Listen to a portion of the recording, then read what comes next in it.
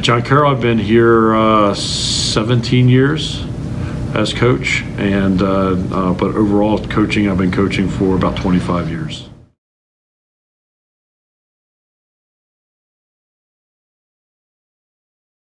I'm Faith Hess and I'm a sophomore and I've been swimming at John Carroll for two years.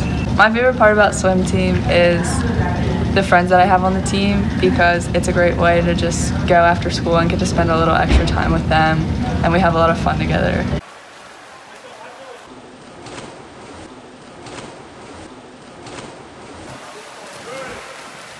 This is my first year swimming and I joined swim team because all my friends did it and it sounded like a fun sport to do. Hi, my name is Micah Enzer. I'm a junior at John Carroll, and I've been swimming for 13 years. This season, I'm probably looking forward to championships the most. The best part has been uh, the relationships I've had with the swimmers. It's uh, really getting to, to know people better and having them uh, partake in a, a sport that could be very competitive but a lot of fun.